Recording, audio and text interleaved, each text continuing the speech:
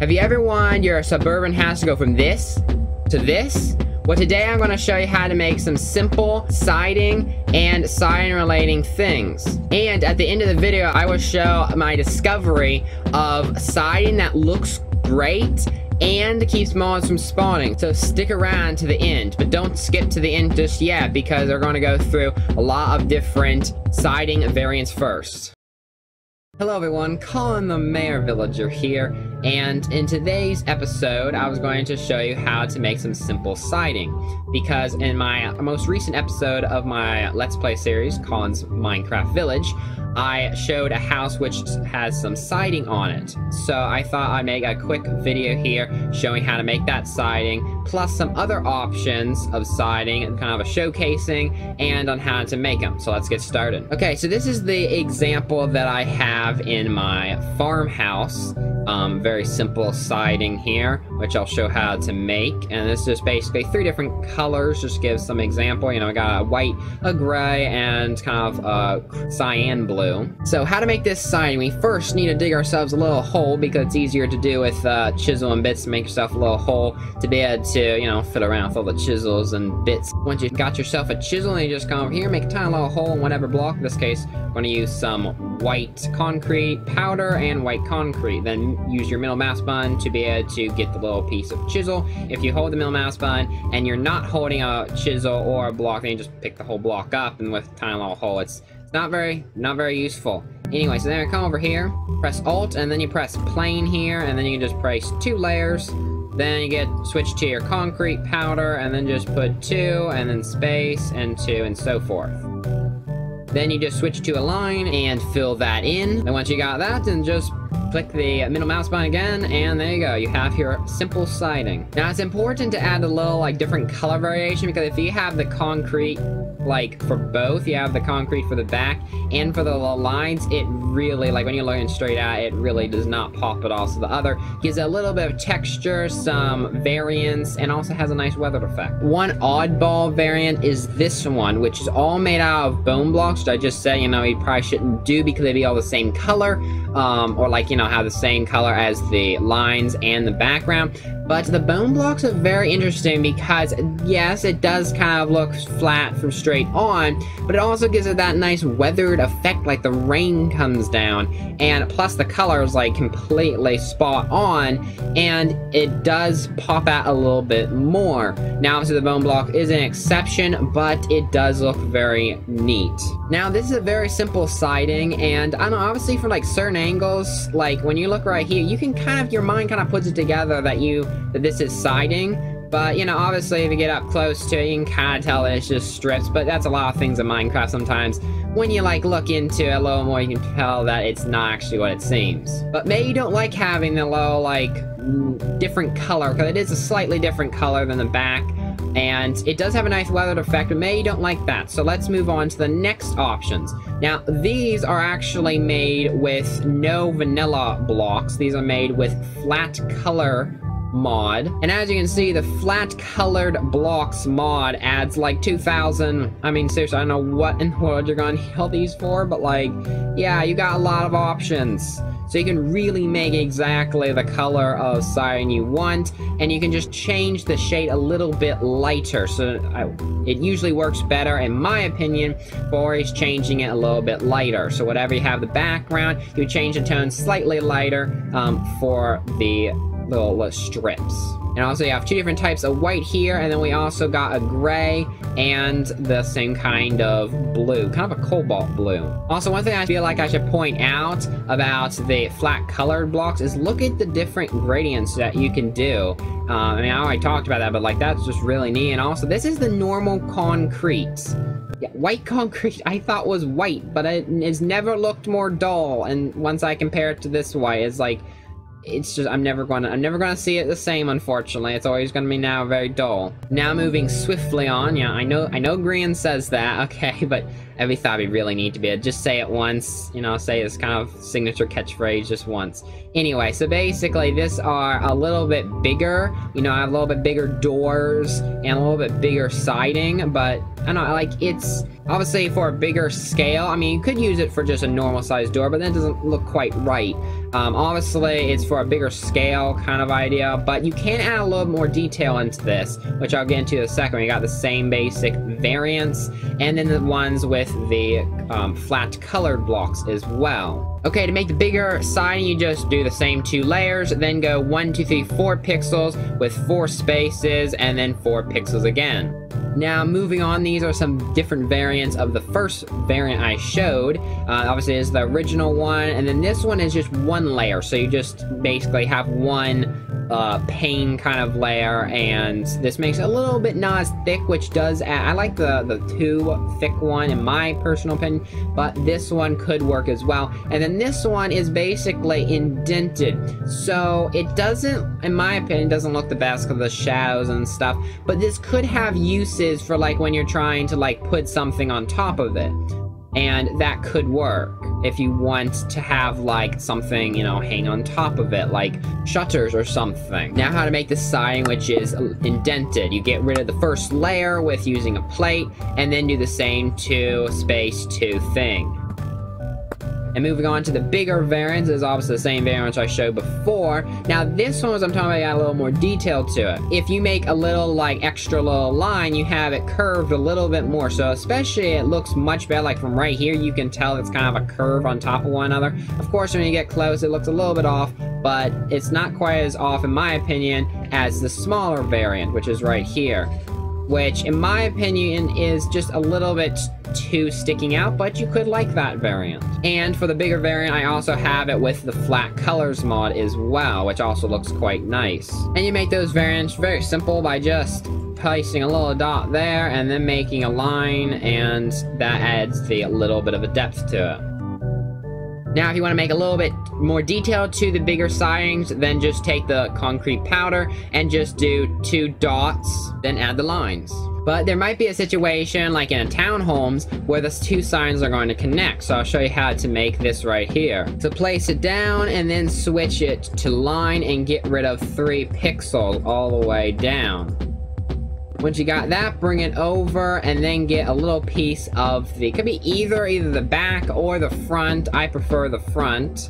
Then make a little dot right here and then out a little bit one as well. And then make a straight line on each. You need the little one on the back so that like when you look from the side, it doesn't look quite as strange. It looks like there's a line there. Another situation you might find yourself in is like making a porch and you want stuff to be on it, you know, up against it like a rocking chair or whatever. So basically this one is the same one that I just showed a little while ago where this is indented. So it doesn't look quite as good, but sometimes you have to do that. Now, it doesn't look like there's anything changed here because you can just place the blocks on each side. However, there is a block back here that is important. Just place a block down here and then get rid of the line and then go the two by two pattern like before.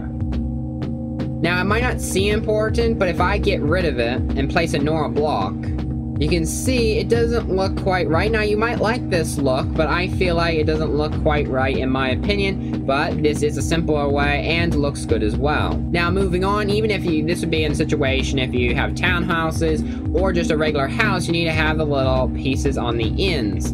So basically I have one here with gutter and one without. Now you actually need to make three different things with this. You have to make the actual block of the side and the two side blocks that bump into it. Okay, to make that you place the whatever sign that you choose on both sides, just in case the standard, then get what the base is, which in this case is white concrete, and then just make a little kind of square corner at the side, then switch to line and push it all up just like so.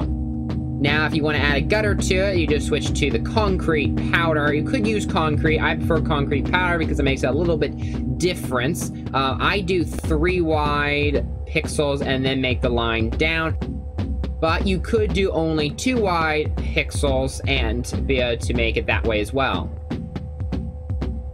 Now how to make the siding be able to go up towards the corner, you switch to plane and get rid of the first layer on both sides. Then switch to white concrete and go up to the top and do basically four pixels out. So be sticking out one more pixel than where the lines go out. And then get your lines and then go straight down. And do the same on both sides. And one thing that I almost forgot to show is if you have like two layered siding, like right here, and you transition it into just where the siding's kind of indented into the block.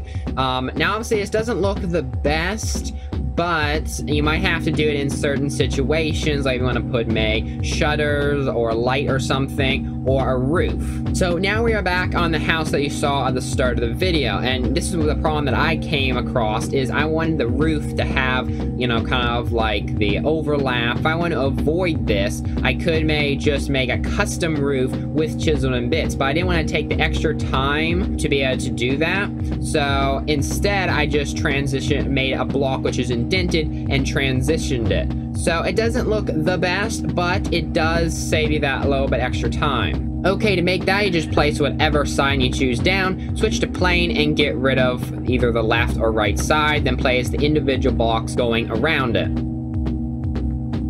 And now do the exact same thing on the right side.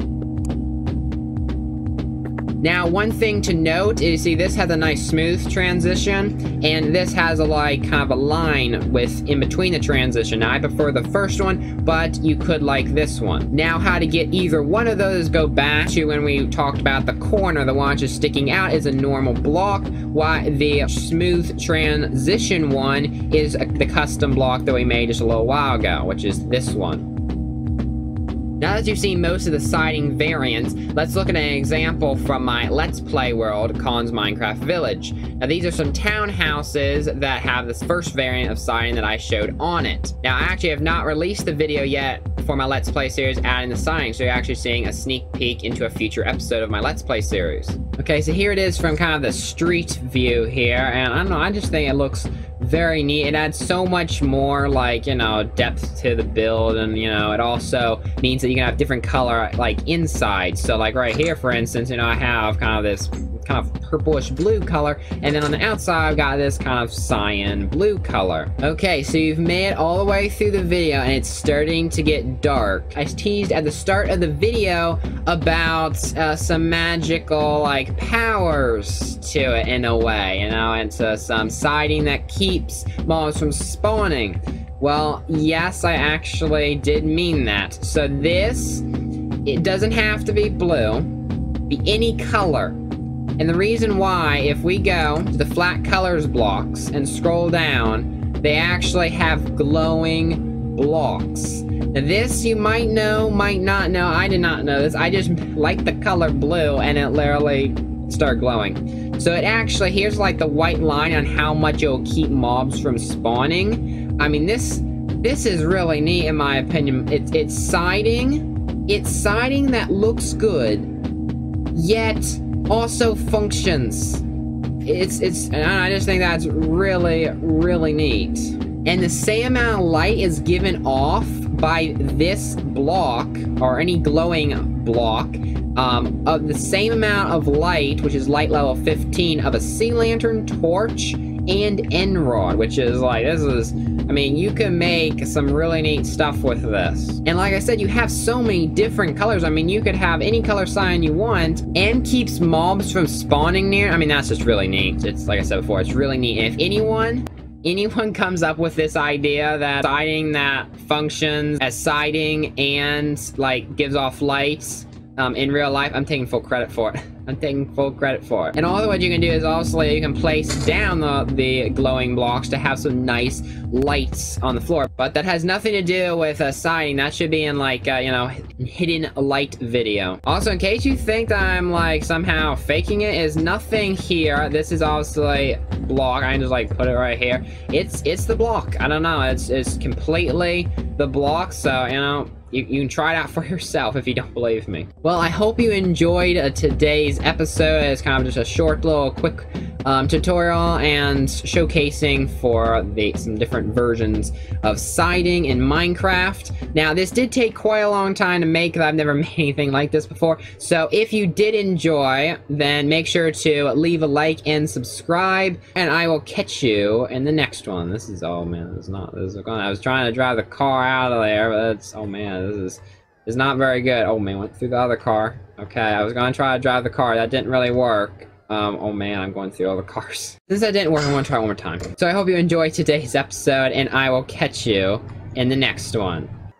Bye. Now, with the magic of editing, I was able to pull that off, but seriously though, don't look at yourself while driving. It's even dangerous in Minecraft. And if you did like this video, let me know in the comments below if you'd like to see more videos like this. Also, let me know on any how to build slash showcasings you would like me to do next. Anyway, that's all for now, and I'll catch you in the next one. Bye.